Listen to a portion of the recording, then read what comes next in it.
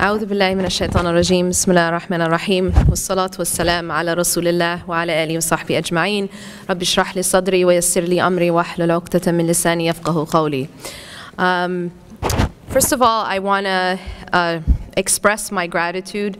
Uh, I always find it very impressive when I find a room full of humans at like 10 o'clock in the morning on the first day of a conference. So that's really impressive, mashallah, that you guys are here and you guys care. Uh, I think one of the things that's happened uh, in our modern day society, uh, as Sheikh Yasser talked about as well, uh, there's been a epidemic loss of purpose and meaning. And I think that uh, what's happened now is that um, we, we live our lives kind of randomly. You know how we say things like, oh my God, that was so random. Um, and we just feel like everything's very random. And, and there's been this epidemic loss of meaning and purpose. And so to get that, to actually hold on to that, is, is very difficult in the time we live in right now because we're all kind of just living, you know, by this, the seat of our pants, right? It's, it's everything is just YOLO, you know, you, you only live once, you know, live it up. And, and it's this kind of just live moment to moment type of mentality that's sort of pushed down our throats. And so if you try to resist that and you try to actually live with meaning, it is an uphill battle right now, especially for young people. So I just want to applaud you in that and, and tell you that um, you're, on, you're in the right direction, alhamdulillah, um, to, to, to go against that stream of just you know, do what feels good for today, you know, and, and to actually live with purpose and to have a plan of what you're going to do tomorrow, right? Because the whole idea is to make you only live for today, right? Um, if you look at the way that things are sold to us, if you look at, uh, for example, the advertisements that we see, uh, Pepsi, for example, Pepsi's tagline was, does anybody know what it was? Live for now that, that's what it was. And then the O of the now was a Pepsi sign. So the idea here, this is the type of thing that we're taught, is just live for now, don't plan for tomorrow, um, live it up, YOLO, right? You, you're only, you only live once, you're only young once, all this kind of, all these slogans, right? And the whole point of that is to make you just not think about planning for tomorrow. But that's completely the opposite of what Allah subhanahu wa ta'ala tells us, right? Because Allah tells us in the Quran the complete opposite. He says, um, وَلْتَنْظُرْ نَفْسٌ مَا قَدَّمَتْ لِغَدْ That Allah says, tell, Allah is, is, is addressing the believers and He's saying, um, He's telling us at the beginning of this ayah to have taqwa. يا أيها الذين آمنوا اتقوا الله ولتنظر نفس ما قدمت لغد. O you who believe, O you who believe, have consciousness of God. So that's the first piece of advice or, or, or, or command that Allah is giving us in this verse. And then after that, Allah says, and let every person know what, they put, what they've put forth for tomorrow. Let everyone see and have a plan of what, what is it that you're planning for tomorrow. And here, the tomorrow isn't just talking about like in 24 hours tomorrow, right? But this is the tomorrow that's the capital T tomorrow, the tomorrow after we leave this life. Allah is telling us, no matter what age we are, that we should have a plan of what we're going to do when the capital T tomorrow comes. It's, it's a little bit like a person who's planning on moving. Have you guys ever moved before homes? Raise your hand if you've ever moved in your life. Everyone has, right? Pretty much. We don't. We live in a very mobile kind of society, right? Um, I I have moved every two years. So I know about moving, um, and sometimes every year. And, and so this concept of moving, you know you're going to a new address, right? When you're moving, there's a process before you go to the new address where you know that you're moving, right?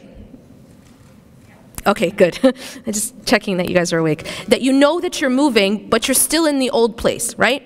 You know your new address. You know that there's a specific time that you're moving, but you're still in limbo, right? You're in between.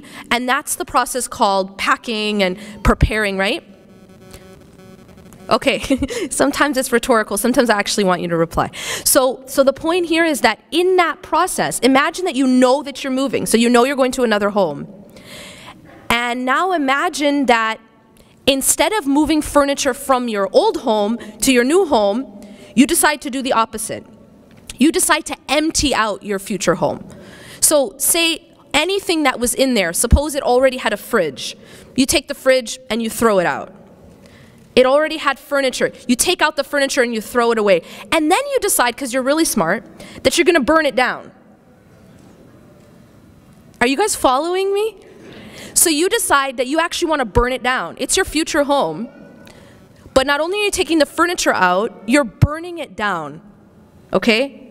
So what happens now? You guys are still moving there. That's not going to change. But what's going to happen when you get there? You just burnt your house down. So you actually, not only do you have no furniture, sometimes some people are going to get there and there's no home. It's been burnt. You understand?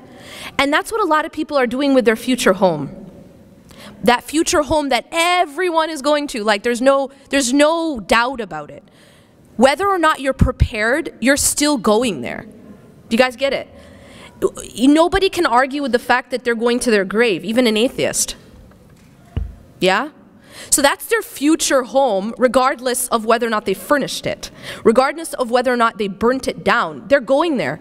And every single one of you is going there. But the question only has to do with what have you set forth for it? What have you furnished in it? Or have you burned it down? You understand? And see, when we're moving, we prepare that home. In fact, we put only, oftentimes we do this. We buy new furniture for that home. We leave the old furniture, right? We bring only the nicest stuff for that new home because that's where I'm going, right? That's my destination. And that's the thing is that some of us are furnishing that new home and some of us are burning it down. Now, there is a very, very important role in that whole process that your friends play. So now I want to bring it to the topic of, of company, of your friendships. And I don't just want to talk about friendship, but I want to talk about environment in a, in, a, in a bigger scale as well. All right, I'll begin by talking about friendships because at this age, I mean, I see a lot of young people right now, and at this age, our relationships, our friendships, actually, our relationships are always important, but our friendships are of, of utmost importance, especially when we're young and they're also important as we as we grow older. But especially when we're young they are our friends become sometimes more influential than our parents. And so who you choose to be around i, I use the analogy of um, you know how they tell you you are what you eat? Anyone ever heard that? You are what you eat. What does that mean? It means that if you eat healthy you're gonna be okay. And if you eat unhealthy you're gonna be very simple, right? What happens if you drink poison on a regular basis? Just a couple sips for breakfast. Anyone? You might not die right away because you're just taking a couple sips. But what have you what are you doing over time to yourself internally? You're killing yourself, really. You're killing yourself. So what happens is that our environment, our company to be specific, sometimes is like sipping poison. The things, the people that we're around, the influence that they have on us. And I, and I was noticing that, um, you know, this, this idea, and, and Sheikh Yasser uh, touched upon it, that people think, oh, but I'm not going to be influenced, I'm strong. That's like a person saying, I can drink, I can sip poison, I'm not going to be influenced, I'm strong. Can anyone say that? No. Everyone it will be influenced if they, if they sip poison. And in the same way, your relationships will affect you. It's just a fact. The Prophet ﷺ said, Al-mar'u ala khalili, ala dini khalili. So that a human being is on the same way as their closest companion. Do you know what that translates to? That means that you should pick out your closest companion to be the exact image you want to be. Does that make sense? Because the Prophet ﷺ said that you will be like your closest companion. You'll be the same, same deen. And deen doesn't just mean religion, by the way. Deen just means a way, the way that they are. And that's why you find that when people are like BFFs, they're really, really close, they actually start to even have the same mannerisms. They pick up they pick up the same gestures. They they make the same faces. You know what I'm saying? They they laugh at the same stuff we start to actually morph into the people that we're close to? Yes or no? Yeah, you do. you do. You just start to become almost like the same person. This is what the Prophet ﷺ, he understood psychology before there was something called psychology. right? And he's telling us you will be on the way of your closest friend. So, what does that translate to? It means that I should pick my closest friend to be someone that I want to become. And if your closest friend is not someone you want to become, then you need to sort yourself out because you become that person. And let me also add, let me also add that it may not be a friend that you physically see, as Sheikh Yasser alluded to, and I'm going to get to that as well. It may be someone that you follow religiously online. It might be someone that you look up to and you're following every step, even what burger they ate that day. And that person you start to also become like. I, I found a really strange, this is just a personal thing. Um, this strange phenomenon that I noticed, and that there was like, you'd know people who had certain stars, whether they were like athletes, that they like, they, that was their role model. And it's like years and years growing up, this was like their role model. They actually acted like them. Like I, I started to notice that they would act like them. They would gesture like them.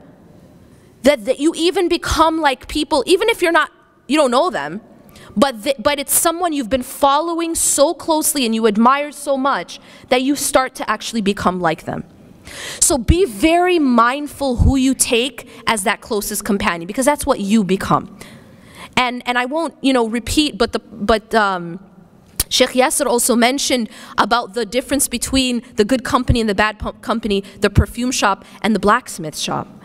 That we are influenced by our environment. But when I say to you that you are what you eat, what do I mean by that? I mean that every single thing that you surround yourself with or you take in affects you internally. So it's just like food, all right? Um, what you listen to, what you look at, what you read, what you watch, what you talk about, all of this, think about it as input. It's like food that you're putting into your body, right? And so I ask people to imagine that every time you open your feed, your feed meaning your news feed, uh, whether it's on Facebook, Instagram, Twitter, Snapchat, whatever it is, imagine that when you open up your feed, it's like opening up your fridge. That's what you're going to eat that day, okay? Now, can you imagine opening your fridge and here's what's in your fridge some rotten cheesecake covered in mold, right? Uh, a like a burger that's like, I don't know, by this point it's like toxic. Some, some bottles of poison. That's what's in your fridge. You open your fridge and that's what's in there. So, what's going to happen to you? What's going to happen to you? Well, it doesn't take a genius. That's what you're intaking. That's your intake, right? And so that affects you. Now, when a person, now when you open your news feed, you have to judge it in the same way. That's your fridge. That's your fridge. You're not passive. I need you to understand, you are not passive. You're not passively intaking. You're actively intaking those things. You're not just looking at it. I need you to, to understand there's no such thing as I'm just looking. Whatever you look at, it's like you're swallowing it. It's like you're eating it because the eyes are a window to the heart. That's the way Allah designed it. You can't look at something without it affecting your heart. Same thing with the ears. The ears are an, are an inlet to the heart. And so you don't listen to something and you're just passive, right? You're not just looking at that fridge. Those are the things that you're swallowing. Does that make sense? And so what I ask people to do is, number one, please find friends that you want to become. And that person that you take closest to you, make sure it's someone you admire and someone that's actually going to help you furnish that home that you're going to. Not someone who's going to come with a torch and burn it down for you. There are friends, friends, who actually are, are burning that house for you. You guys feel me or you don't feel me at all? You feel me? They're actually the ones burning that house down. But guess what? You're the one who's going to have to go. Nobody comes to your grave with you. You go by yourself to your grave. And if your friend is the one who helped you burn it or burn that home, you're stuck with it. And this is the reason why the people of hellfire one of the things, one of their biggest regrets is going to be, I wish I had not taken so and so as a friend. I wish I had not taken so and so as a friend. Because the problem is, our friendships, our companionship affects us deeply. And it either helps us build and furnish that home or it helps us burn it down. And I'm telling you this because it's in your best interest. I don't get anything for whether, depending on how you furnish your home, it doesn't change my home. Because even the Prophet is not held accountable for the result. So what about me? I don't know nothing. All only thing that I am doing right now is telling you what's in your best interest. And I'm just trying to help you. But it, see, you have to go there alone. Your mom can't go with you, your friend can't go with you. And so it's really all about how you build your own home your final home. And believe me, your friends have a big part to play in that. And, and then later on, who you take as your spouse, because this is going to become your closest companion at one point. Be very, very mindful that it's someone who's going to help you build that home, not someone who's going to burn it down. Now, in terms of the, the environment that we put ourselves in online, now I want to take a moment and talk about that. I said that your news feed's like your fridge. That's what you're going to eat all day. That's what you're going to ingest.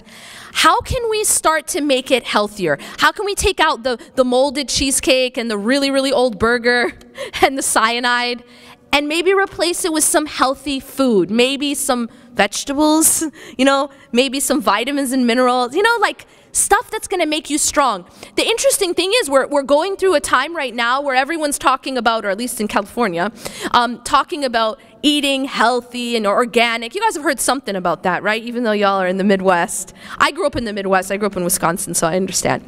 But we, in general, there's a movement right now to talk about being more healthy. Right? Yes or no? No? Never heard it? Okay, good. Um, so now this is what we need, but this is what we need spiritually. We need to start, start talking about being more healthy internally. Because you know what? You have to take care of your body. But at the end of the day, your body is passing away. And, I, and, and it's an amana. You have to take care of it. But at the end of the day, your body is passing away. Can you tell me, anyone in this room tell me, what's happening to your soul after your body passes away? It goes to the barzakh. So it, it, it's actually continuing to exist. Barzakh, right? So your soul continues and your body disintegrates. Which one do we take better care of generally? Isn't that ironic? Does anyone else find the irony in that?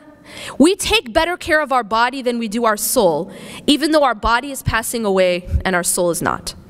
Your soul doesn't actually pass away, your soul just moves. It moves from one world to another, and then from that world to another, and then guess what? It lives forever. Like forever capital F. That's a lot of time, isn't it? So it's quite important that you take care of it. And I'm telling you that because we live in a social media age right now, one of the biggest sources of poison is what we're looking at online, what we're following. And I'm going to put aside right now, like, I'm not going to get into a fiqhi discussion about what's haram and what's halal because I'm not qualified to do that. But what I, I do want to do is I want to just talk about just basic psychology, all right? What you guys are following, it may not be blatantly haram, right? It's cool. You can learn a million different ways to wrap your hijab. That's awesome, right? A million different ways to contour your face. That's, that's awesome. um, lots of different fashion, all that stuff. I'm not saying any of that is haram to just watch. But here's the problem. The problem is when that becomes the focus. That becomes the focal point. The only thing that you're looking at is fashion, what some what burger, what kind of burger someone's eating, how all the various ways to wrap your hijab, all the various ways to do makeup tutorials, and somehow everyone ends up looking identical after these tutorials.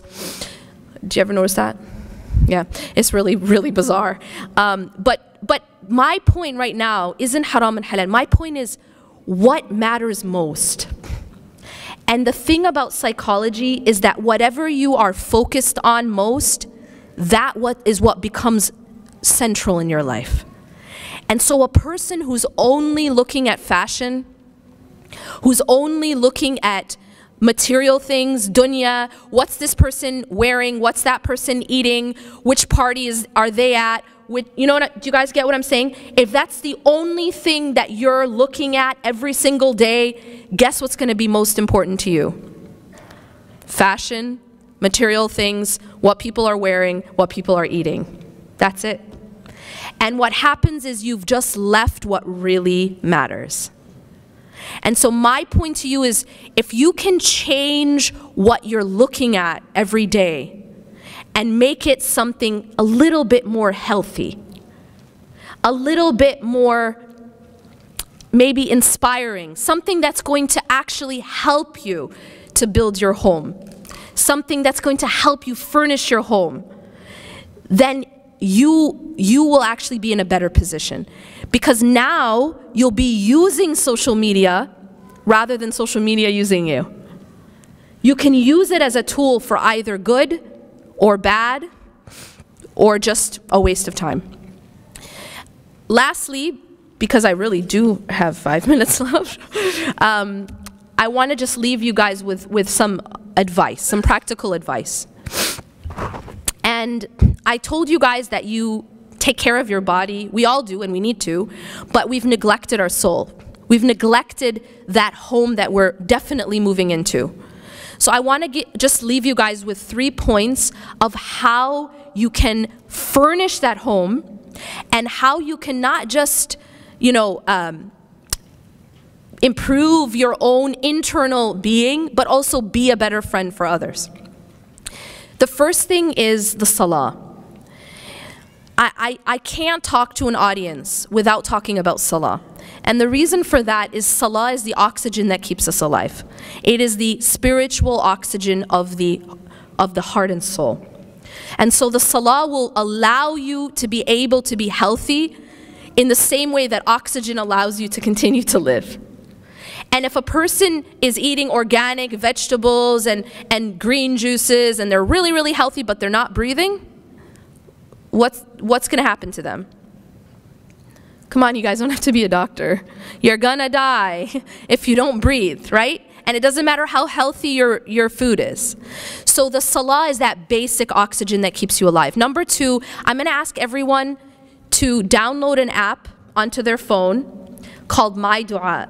It's spelled M-Y-D-U-A-A. And what it is, is it's a collection of the supplications of the Prophet ﷺ from the Quran and from the Sunnah that he would say throughout his day. Now this might seem like, okay, what's the big deal? It's really a big deal. It's really a big deal because what this app does is it's equivalent to that those vitamins and minerals and food and water that you put in your body, but it's spiritual. Every time you're reading these supplications, you are making your internal health stronger. Now, I'm just going to tell you this. When you download this app, by the way, best 99 cents you'll ever spend, and no, I don't get a cut. when you download this app, you open up on the side, there's going to be a few, there's, by the way, there's, an, there's a supplication for every motion of life. And the more you can incorporate in your life, the healthier you'll be psychologically, emotionally, spiritually, and every otherly. But what you have to do, like there are certain supplications you can't live without, and they are the morning supplications, the evening supplications, and the ones before you sleep. Make sure that these you're getting off your app. Even if you aren't doing the rest, but make sure at least you're doing those. And then over time, you can learn the small ones, right? You leave the house, there's a small dua you come back in the house, remember Allah. These things are life changing. But let me just, before I end, tell you about the morning and evening. You go to this app. The good, the good thing about this app is there's this thing called a star. You can star the supplications that you want to do because there's like 25 of them. It might take you an hour and never do it again. It's better for you to make a small list and to be consistent because the Prophet ﷺ said that, the, that Allah loves the actions that are, that are consistent ولو أقل, even if they're small.